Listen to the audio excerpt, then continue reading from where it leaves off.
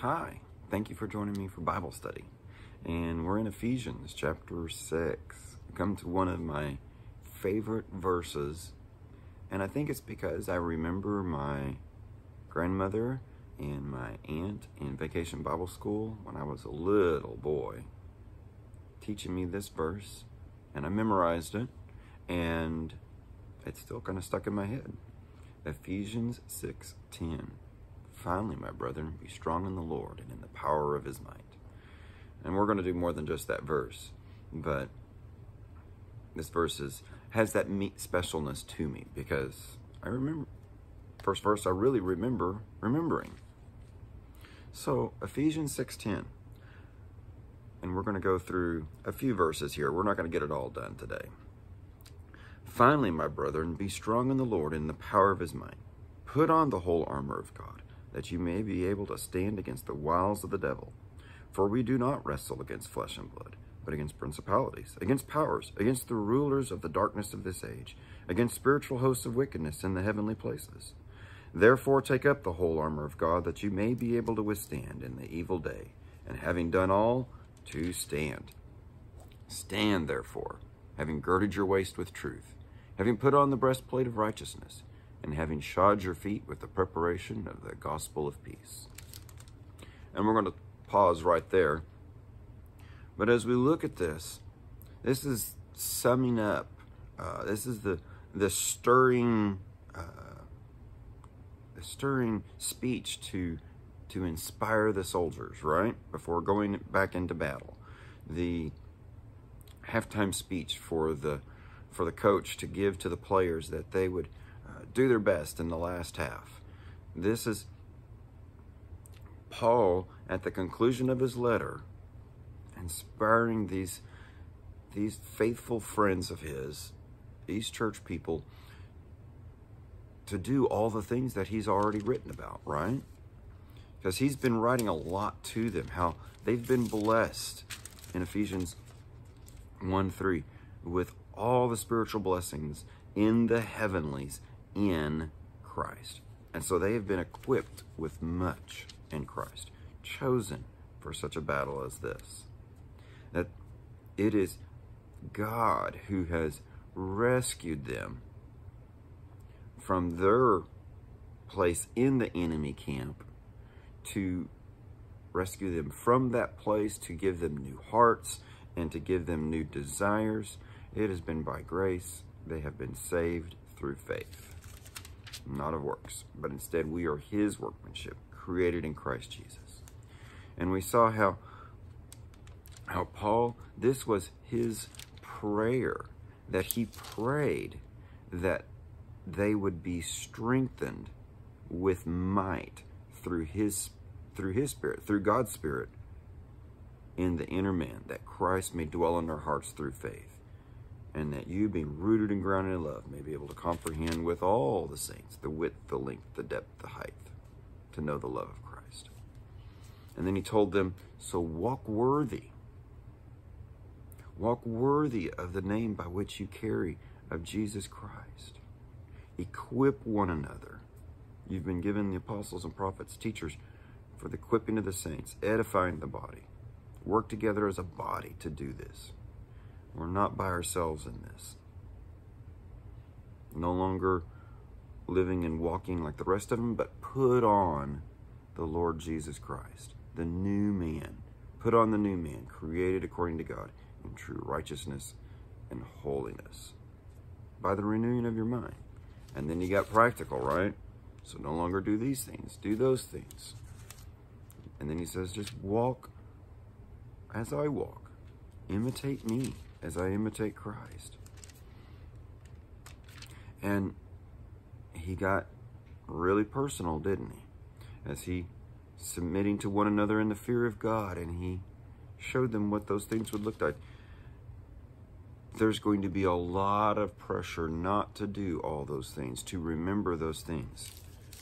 His concern was that they would be like children, being pushed to and fro by the uh, by the lies and by deceptions, being carried, carried by every wind of doctrine, trickery of men, cunning craftiness, of deceitful plotting.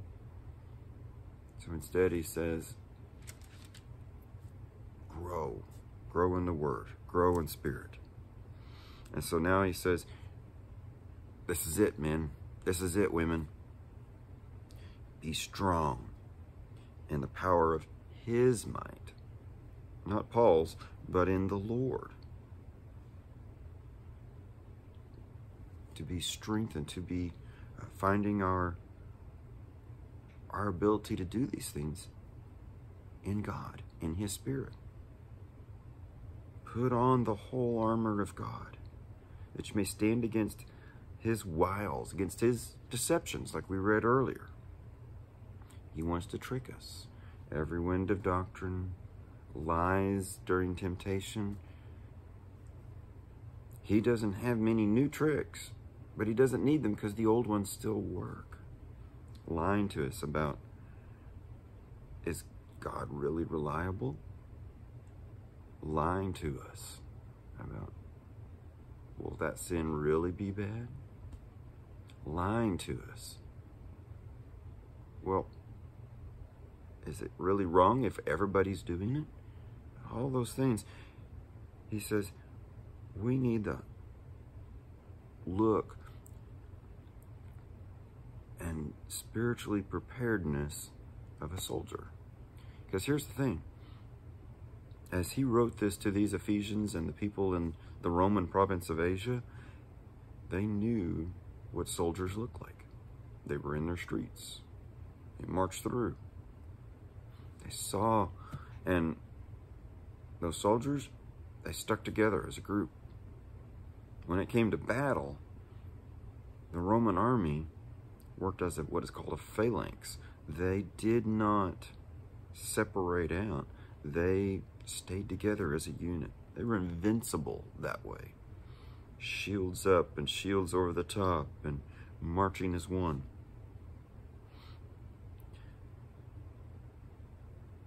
And we as a church work together, staying together, defending one another. There is strength in numbers this way. Because we have an enemy, and it's not people that we disagree with. It's not the rude person. It's not, those aren't our real enemies. They're just pawns in a bigger war. They if they're not saved, then they have darkness and they don't know anything different than the darkness, as Jesus said. The darkness that is, the light that is in them is darkness, then that's all they know. And if they are saved, as he warns us, some people have been re-entangled again in sin and and we're all still a work in progress, aren't we? And so he says, keep your focus on what's the real enemy here. For we wrestle not against flesh and blood, but against principalities, against powers, against the rulers of the darkness of this age, against spiritual hosts of wickedness in the heavenlies. Won't try to, we'll try not to get bogged down in, in what all those are, but it does give us that picture that, one, we are in a war with an invisible war against spiritual enemies that are really there. And there's hierarchies and and we may not be uh, feel like we're world influencers, but those are enemies out there. Remember in the book of Daniel where there was angelic warfare going on regarding his people and the messages he was to receive that ruled nations.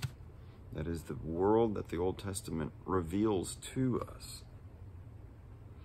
And so those principalities, those powers, they were at work in the small and in the big to defeat the enemy, which is us. Because they can't touch God, they can't touch Jesus. They're way out of their league. So they go for his people to hinder us in doing good.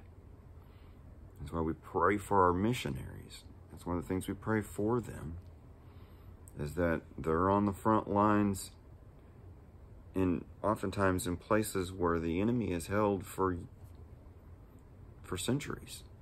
And so it is uh, prayers for them against the world rulers of darkness. Just as Paul told the Corinthians, the ruler of this age has blinded people with darkness that they might not see the light of Jesus Christ. So it's more than just a, a persuasion of the mind. There is, again, spiritual warfare going on in this. There are spirits of wickedness, depravity, even in the heavenlies, in the sky, and above the sky, at work.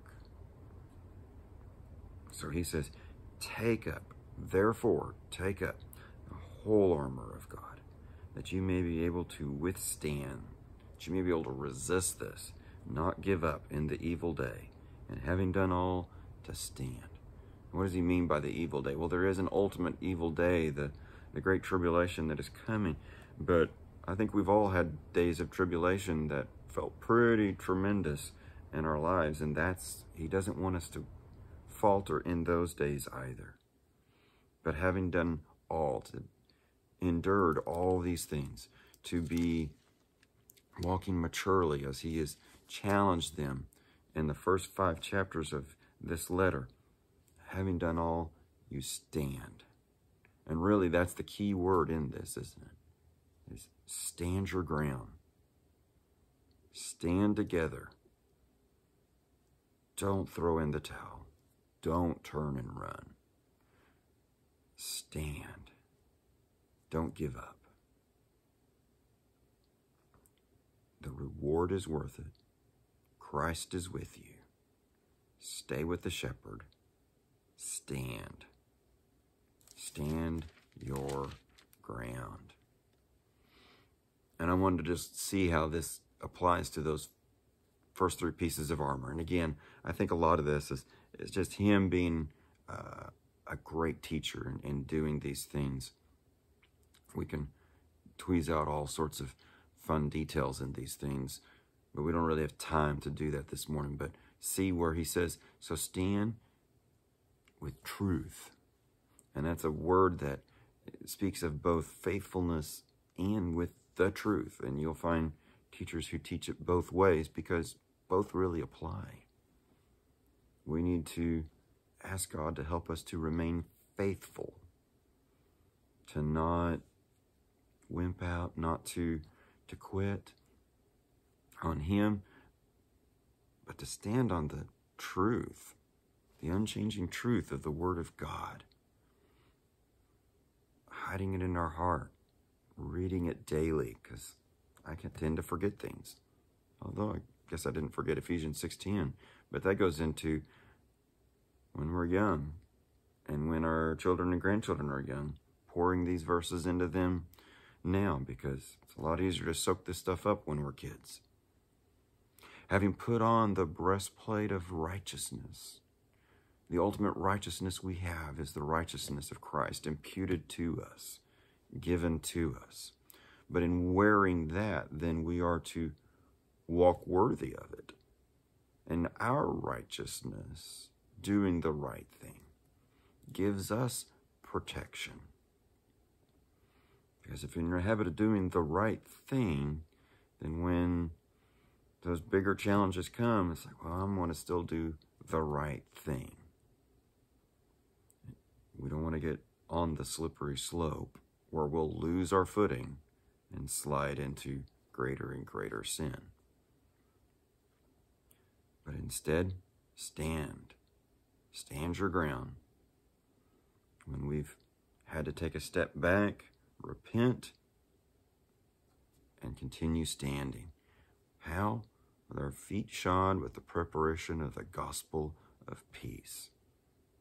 And that's where those first three chapters of this letter really are important, is knowing that there's good news. We've been put at peace with God. We were at one time enemies. Remember that from Ephesians 2? But we've been brought from the camp of the enemy.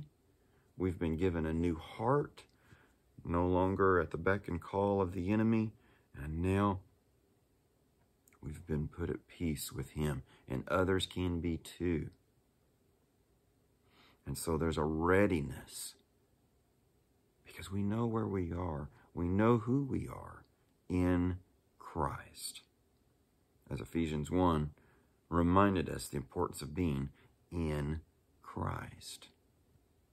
And so we can have good footing from that. The Roman soldiers, uh, I'm told that their for their shoes for warfare had nails coming through the soles in order to ensure they had good footing. And that's what we need. So we're not pushed about when the world is telling us, well, this is what everybody's doing. But what is that what God says? Or when we hear the enemy's voice whispering to us, those intrusive thoughts. No, that's not what God would have me do because I know who he is and I know what his will is. Or when the flesh itself, still wanting to sin, wants to fly off from the handle and, and do the wrong things of its desires. It gets us in most of our trouble. No, stand your ground. Don't give in.